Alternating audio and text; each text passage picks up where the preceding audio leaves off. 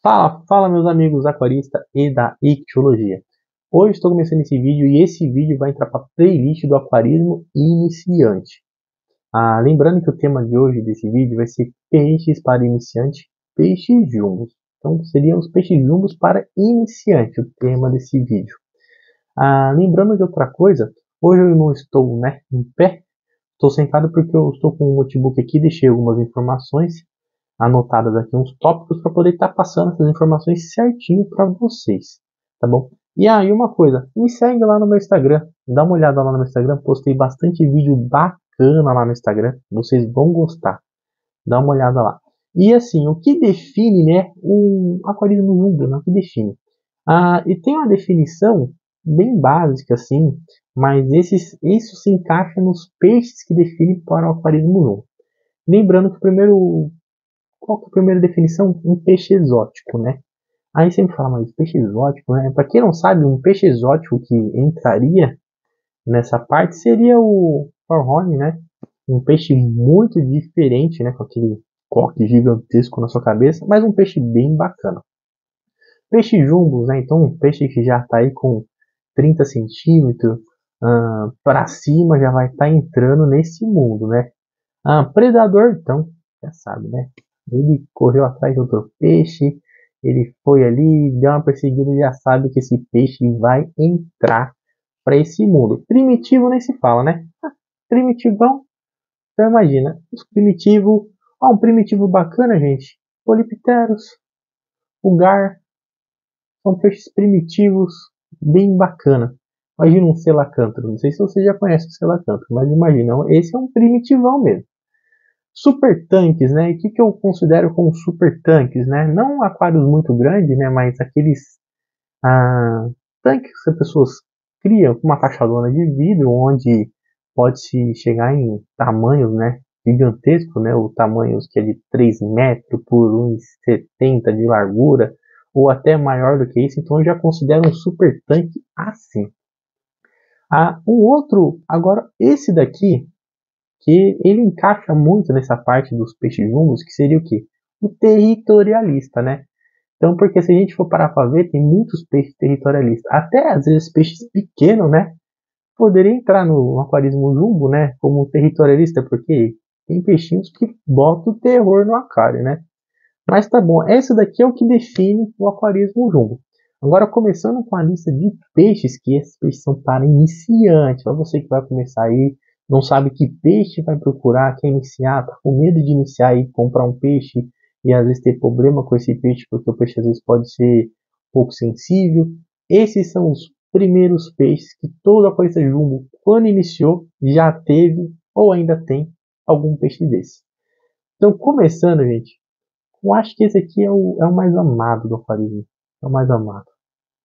Esse peixe aqui eu acho que todo mundo já teve, não tem ninguém que reclamou desse peixe, só ama esse peixe, né? Ah, um peixe até que é bem em conta, o valor monetário dele até que em conta, porque você encontra várias espécies dele. Mas estou falando do Oscar, né? O lindo e maravilhoso Oscar, com suas várias espécies, Oscar Tigre, Oscar Albino, Oscar Bronze, Oscar Vel. Se eu vou falar aqui, vou embora. O Oscar é muito top. Peixes que eu tenho, tem aqui, ó, dois Oscars aqui, ó. Um albino e um bronze. É peixes maravilhoso para se ter. Lembrando que o tamanho dele pode chegar de 25 a 30 centímetros, ou pode levar um pouquinho mais, uns centímetros a mais ali. É um peixe bem bacana para ficar grande. Então lembra que em média um aquário dele tem que ser grande. Mínimo aí 200 litros para 200 litros para um Oscar. Você tem um aquário de 200 litros, lembra que você vai conseguir só ter um Oscarzinho. Expectativa de vida 10 anos. Sossegado, um pHzinho dele é um pH de 6 a 8 e a temperatura de 24 a 28 graus. Eu aconselho sempre manter próximo aos 28, porque é melhor para você não surgir doenças no peixe e também manter ali o metabolismo dele acelerado para ele poder comer bem e crescer. Né? Mas é um peixe para você iniciante porque vai gostar. Um pet fish, literalmente um pet fish, um peixe amado. Peixe que você chega perto do aquário, ele vai se interagir com você. Se você for dar comida ali, capaz que ele pula e pega na sua mão, porque isso acontece direto quando eu vou alimentar os meus osquinhos aqui, que gruda no meu dedo. Até, até um susto, até na hora que você tá aqui, não tá esperando o momento que você põe a mão, você passa, toma um peixinho aqui no seu dedo aqui. Mas é um peixe bem bacana para se ter. Próximo da lista, gente, eu separei para quem gosta de bagre. Esse é o peixe que eu falo que é ideal para quem está iniciando no aquarismo. Peixe que aceita de tudo, come ração, come. Se tiver no aquário, ele vai, ele vai aceitar. Vai aceitar. O Jundiá albino. Lembrando que você tem o Jundiá que não é albino. Mas o mais procurado para quem gosta do mundo do aquarismo jumbo é o Jundiá albino. Ah, lembrando que o Jundiá albino fica grande, de 35 até 47 centímetros, vive em média 10 anos, ah, o pH de 6 a 7, né? Temperatura de 22 a 28 graus. Então é um peixe também, vamos dizer, de águas quentes, né? Ah, já tive já de albino, acho muito bonito, acho muito bacana. Ah, não, não sei se eu vou ter mais nesse layout do meu aquário, porque eu coloquei muita rocha, muito tronco, e é um peixe que cresce rápido. Então eu tive eles filhotes, mas desenvolve muito rápido. O crescimento assim é surreal, é muito rápido mesmo. Quando você vê coisa de meses, o peixe já está chegando aí a uns 30 centímetros muito rápido. Mas é um peixe muito bom, muito top. Esse daqui que eu separei é um primitivão. Primitivão, mas lembrando que ele é. O valor dele é um pouquinho mais salgadinho. Mais salgadinho o valorzinho, né? Mas da espécie dele, né? É o mais em conta. Seria, né? O mais em conta. Que é o Poliptero Senegal, né? Um peixe lindo, maravilhoso. Já tive vários. Tanto do albino como do comum. O comum ele é meio acinzentado, eu acho muito incrível. Parece um dragãozinho japonês, aqueles que o pessoal fala muito do dragão europeu com asa, né? Mas ele lembra muito aquele dragão japonês mesmo, né? Que não tem asa, ele só serpenteia no céu. É muito incrível, né? Mas o Polyptera senegal. Lembrando que o Polyptera senegal tem um metabolismo um pouco lento no crescimento. Então ele demora um pouco para crescer. Aí é a minha dica que eu dou para você. Se você vai colocar ele com outro peixe que possa assim, predar ele, né, um peixe maior, vão colocar no aquário separado, né? Ah, para ele poder crescer. Um aquário de engorda, né? Deixa ele crescer um pouco, ficar um pouco maior para você colocar no aquário, senão você vai perder ele. Mas o Poliptero senegal, em média o tamanho é de 30 até ali uns 45 centímetros. Mas sendo bem sincero, sendo bem sincero, eu nunca vi um Poliptero de 40 centímetros, 40, 40 centímetros, sendo bem sincero. De 30 já vi. Agora, na pesquisa que eu fiz, falava que ele chega até 45, mas eu creio que é raro você ver um de 45, mas de 30 centímetros já vi vários já, bem grandes, eles ficam bem grandes mesmo assim com 30 centímetros. A expectativa de vida de um peixe desse é de 20 anos. Vamos dizer que o fator metabolismo lento, né? Então ajuda o peixe a ter uma longevidade bem maior, né? Agora o pH dele de 6 a 8 um pH bom até dá para você colocar com Oscar. Ah, então dá para ficar sossegado, dá para fazer uma, uma fauninha bem bacana no aquário. E a temperatura de 24 a 30 graus. Ah, lembrando que é um peixe muito bacana, primitivão, eu amo, gosto dele, aceita ração facilmente, aceita filé, aceita também outros peixinhos, então já vi pessoal colocar esse peixe, sendo sincero, em ornamental. Que estava pequenininho, né? Colocou, então você imagina o que, que esse peixinho fez com os, os peixes menorzinhos, né? Mandou para dentro. Então tá aí, é um peixe que eu, que eu indico para quem quiser ter, é um peixe top. Tem um primitivo top. Para iniciar, é o primitivo top para iniciar. Top demais. Agora esse peixe aqui que eu vou separei, ele é conhecido como tubarão, né? O tubarãozinho do aquarismo jumbo, né? Mas em brincadeiras à parte, ele não é um tubarão, é um bagre, né? Bagrinho em água, e o pangaços, né? Ah, lembrando que o pangaço fica grande, grande mesmo, de 60 até 90 centímetros, fica bem grande mesmo. Então, expectativa de vida 20 anos, temperatura, né, de 22 a 28 graus, lembrando que o pH dele é de 6.5 a 7.5, então um pHzinho um pouquinho mais voltado aqui para o ácido aqui, né? Ah, mas é um peixe bacana, um peixe diferente, um bagre diferente para quem quer iniciar, né? Ah, no aquarismo, lembrando que o aquário tem que ser bem grande para esse daí. Ele nada bastante, não é um bagre que fica parado, né? Mais reservadão no seu momento ali, tranquilão, não. É ativo o tempo todo nadando para lá e para cá. E um cuidado que eu falo para quem quer ter pangaço.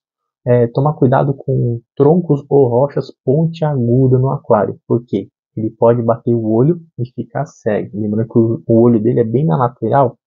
É um peixe que ele bate assim, direto o olho e acostuma até ficar batendo a cabeça, né? O olho no vidro e acaba se machucando. É só isso que é um cuidado que tem que ter.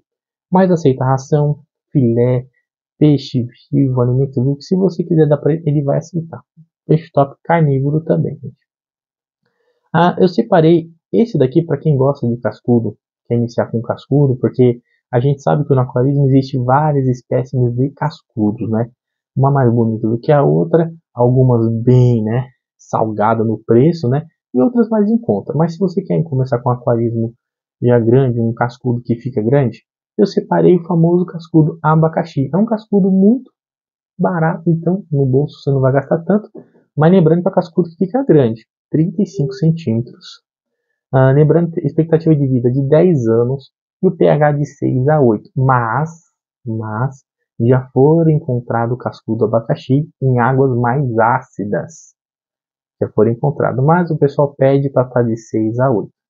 Ah, eu vou dizer que é um peixe que consegue resistir em assim, uma, uma água mais ácida mesmo. Ele resiste bem mais fácil assim.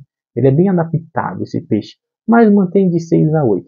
E a temperatura de 23 a 30 graus.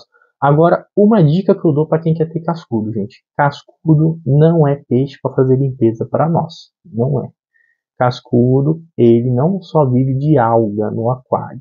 Você tem que dar ração para ele, ou se não, se você for dar pepino ou abobrinha o cascudo comer.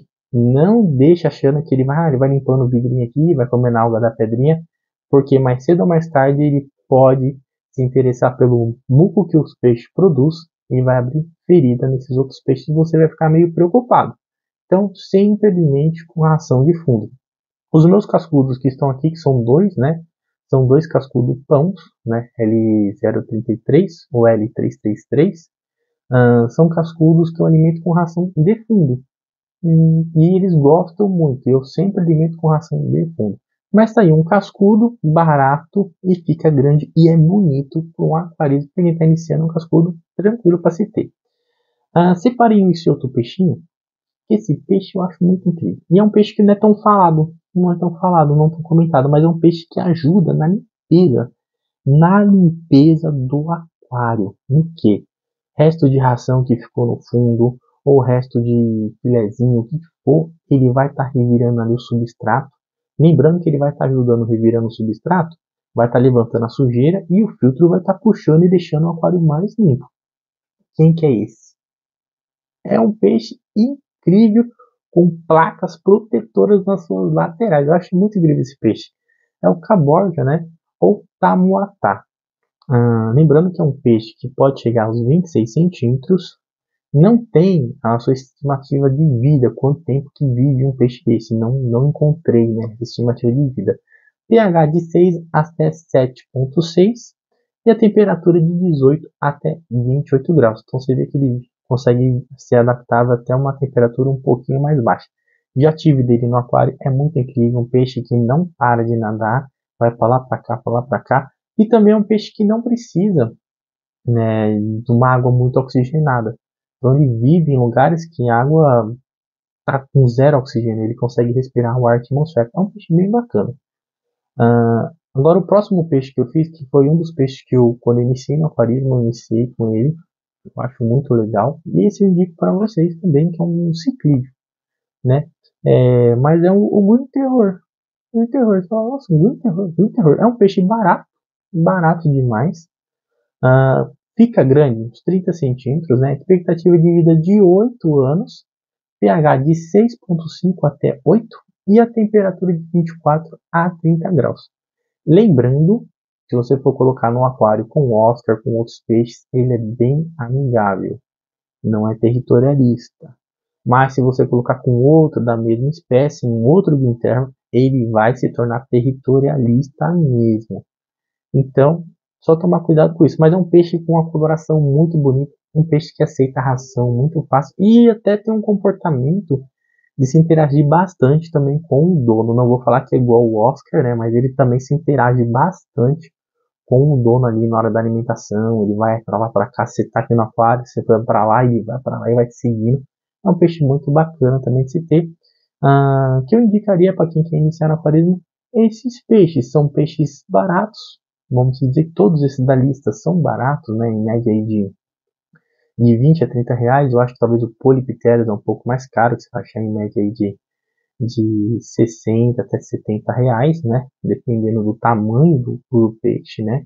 Lembrando que eu tô falando de peixes no valor meio que de alevinos, alevinos, né? Filhotes, não ele já grande, que quando cresce já fica mais caro, né?